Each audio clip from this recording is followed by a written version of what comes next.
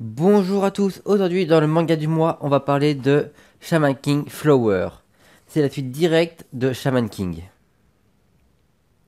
Donc, avant de commencer, je vous rassure, je ne vais pas spoiler du dénouement du manga principal Shaman King. Le résultat du Shaman Fight, je vous le dirai pas. Je ferai en sorte de ne pas vous spoiler quoi que ce soit par rapport au personnage et trucs comme ça. Le seul truc que je vais vous spoiler, c'est que le personnage principal, c'est le fils de Yo Asakura et de Anna. Sinon, tout le reste, je ne vous spoilerai pas du tout le manga Shaman King. Allez, maintenant que c'est fait et clair, c'est parti. Résumé.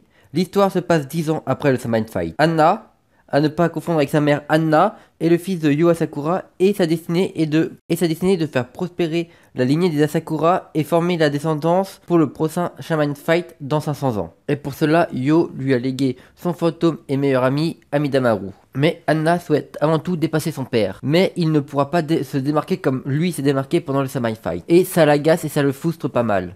D'ailleurs, il a tendance à s'énerver, prendre mal quand Amidamaru parle de son père comme une légende. Mais cela, c'était juste qu'avec une nouvelle menace fait son apparition, la lignée déchue des Asakura, les héritiers de Ao. Ce manga, je l'ai attendu des années, des années et des années. J'avais fini Shaman King avec un, grâce à un pote qui m'avait passé la fin au lycée, et il m'avait passé aussi des scans de Shaman King Flower, mais on avait très peu traduit en français. Et c'est vrai qu'on était frustrés. Et quand on nous a annoncé qu'ils allaient les sortir en France, la première chose qu'on s'est fait, c'est on s'est contacté et on a dit c'est trop cool. Franchement, c'était génial. Donc les points forts, une suite tant attendue. C'est pas objectif, pas du tout, mais cette suite, je l'attendais depuis longtemps. Et je pense qu'il y a beaucoup de fans de Shaman King qui n'y croyaient même plus. Ils y croyaient plus, hein. Personnellement, avant qu'il n'y annonce, je pensais que, que Shaman King c'était foutu, c'était mort. On n'avait même pas eu le tome final de la collection qui était jamais sorti en France, qui était ressorti justement à la sortie, à l'annonce de Seven King Flower. C'était juste génial, on est content. D'ailleurs, petite anecdote, c'est en 17 tomes, et en fait, vous verrez que si vous achetez le 17ème tome, sa couverture est réinvestible pour avoir le numéro 33 qui apparaît. C'est juste génial. Un grand merci à l'édition pour les fans qui vont pouvoir compléter leur tome sans avoir à se retaper toute la collection ou faire moche dans la collection. Deuxième point, pas besoin de lire la première série. Franchement, en lisant le premier tome de Shaman King, j'ai pas eu l'impression et le désir de vouloir lire la fin avant pour savoir qu'est-ce qui s'est passé. Plus on nous met bien en cadre dans le début de la lecture les personnages.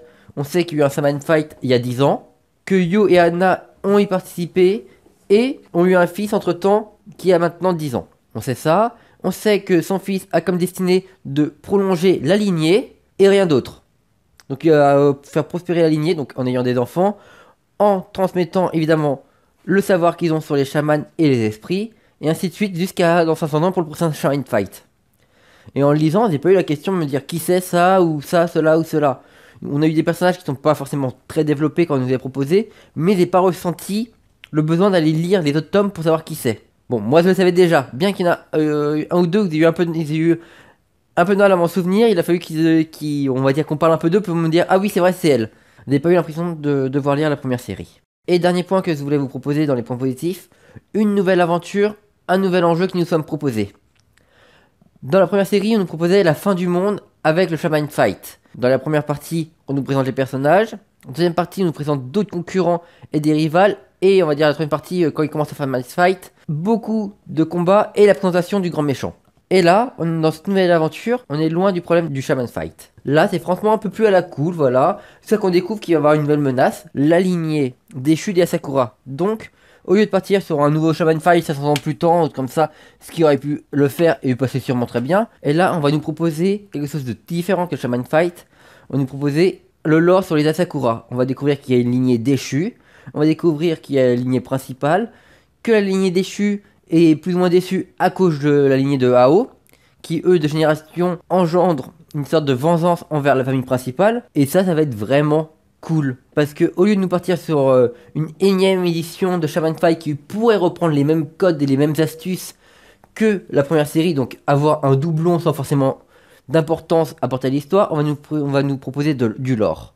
Et ça, c'est vraiment cool pour amplifier une, licence. Franchement, c'est un truc qui va me plaire. Je sais qu'il va pas avoir que ça, qu'il va y avoir d'autres rebondissements dans la série, mais je trouve ça juste génial qu'il nous propose cela. Donc voilà de près tout dire ce que je voulais dire sur Shaman King Flower afin de vous le présenter, afin de vous donner envie de le lire. J'espère que euh, cette vidéo vous a plu, vous a motivé à aller le lire et je vous dis à une prochaine vidéo au Shaman Fight.